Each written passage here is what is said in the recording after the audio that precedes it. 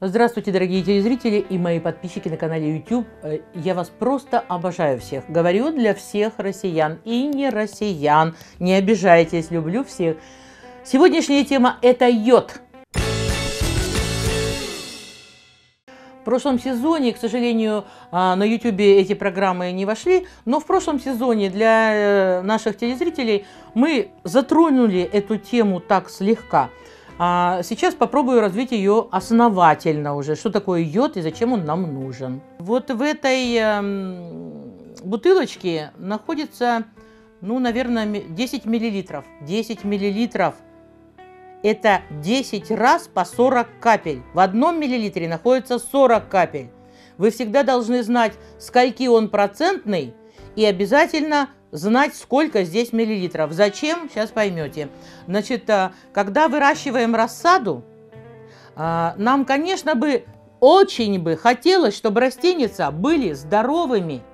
Но для того, чтобы они были здоровыми, нам нужно э, как-то их уберечь. Вот йод нам как раз поможет. Значит, на одну э, рассадинку, на один контейнер – где растет, а контейнер 0,9 это как минимум квадратные, не 0,5, не 0,3, не 0,7, 0,9. Помидору надо хотя бы литровый объем почвы. Поэтому распекировать их надо сразу вот в литровые какие-то объемы. Хоть пакет из-под молока, разницы нет, но литр обязательно. Вы должны знать, что э, поливать вы будете не просто водой, а на 3 литра одна капля йода. И такая поливка будет а, каждую неделю производиться с вашим томатиком или баклажанчиком или перчиком, пока они маленькие, будем их так называть.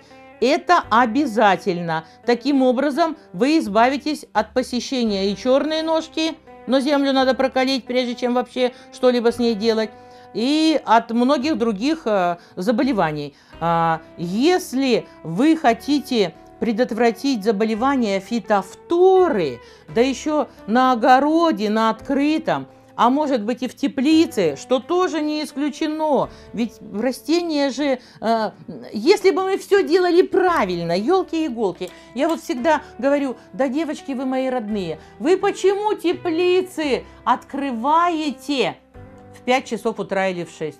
Ну подождите, когда солнышко коснется карбоната или пленки или стекла и нагреет внутри, когда температура еще не остыла там с вечера, потому что мы закрыли ее когда еще солнышко было, и там тепло сохранилось надолго, почти всю ночь была постоянная теплая температура. Так вы утром-то и откройте, когда солнышко встало. Пусть там не остынет, пусть не будет перепадов. Ведь перепады температуры холод и излишняя влага, что любите делать шлангами, у вас там просто все мокро в этих теплицах с посленовыми, с перцами, баклажанами и помидорами.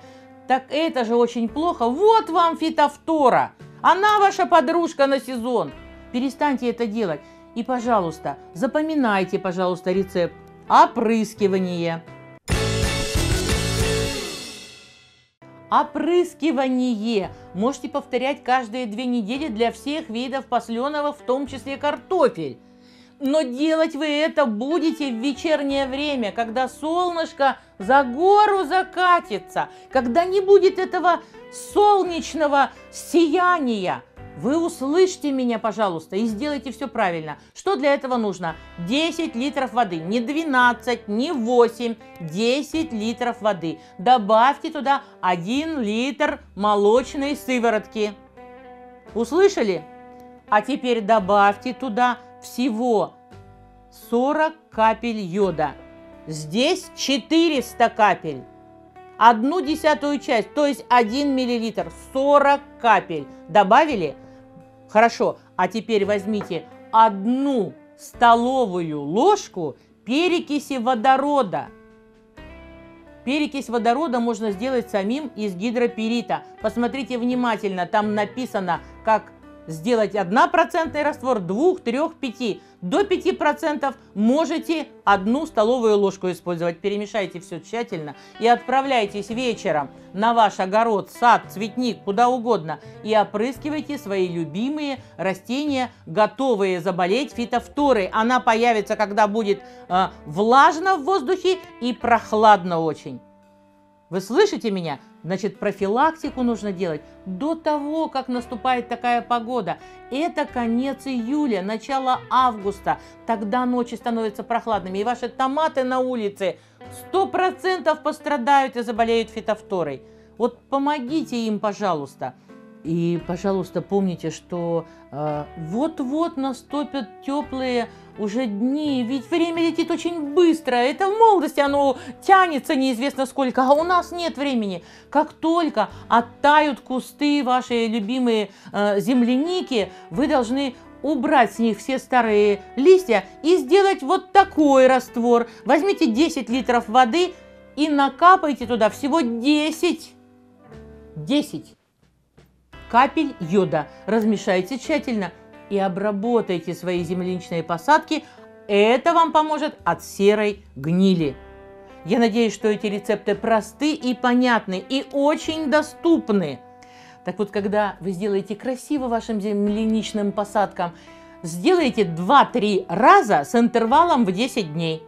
И вы будете радоваться тому, что у вас получилось, а я вместе с вами. Ну, на этом все. Целую крепко. Ваша тетушка Репка.